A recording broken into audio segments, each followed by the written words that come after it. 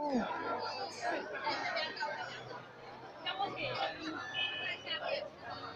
哦哦哦。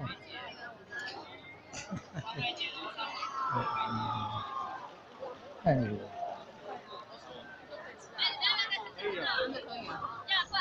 马上就有粉丝了，我这么好。对呀，我就说吧，只要会唱歌会跳舞，就会是最帅的。对呀，而且再加上有一点乐器，其实啊，原来是请大家吃东西哦。好有创意哦。真的是准备东西要请客。哦。